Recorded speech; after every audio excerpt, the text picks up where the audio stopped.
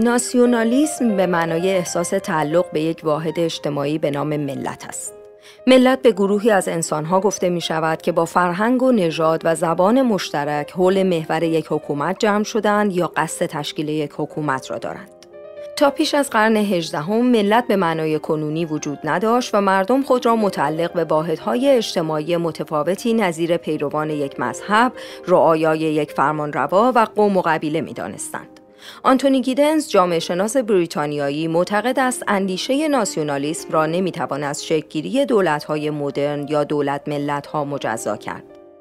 تحول جوامع سنتی، انقلاب صنعتی و رشد اقتصادی حاصل از آن و همچنین فروپاشی امپراتوری ها ساز پیدایش دولت ملت یا به تعبیری دولت ملی شدند. اقلانی شدن ساختارهای گوناگون اداری، اقتصادی، فرهنگی و اجتماعی دولت ملتها را از ساختارهای سیاسی پیشین مانند امپراتوری ها و حکومت های قبیله‌ای متمایز می کند.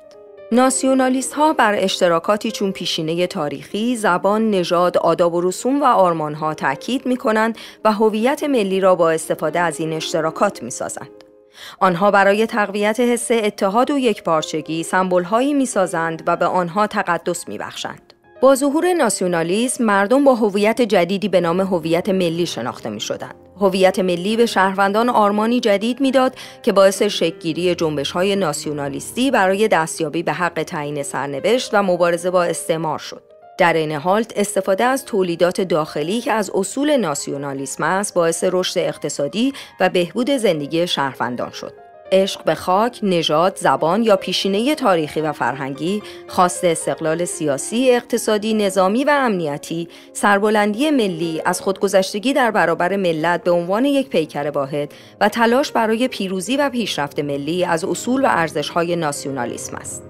ملیگرایی در اروپا متولد شد ولی به سرعت در تمامی جهان گسترش یافت.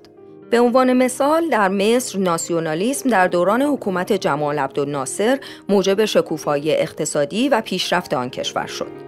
در ایران نیز در اوایل قرن بیستم و زمان انقلاب مشروطه ایده ناسیونالیسم و ملیگرایی توسط تجددگرایان آن زمان همچون حسن تقیزاده، احمد کسروی، میرزا فتحعلی آخوندزاده و دیگران ترویج شد.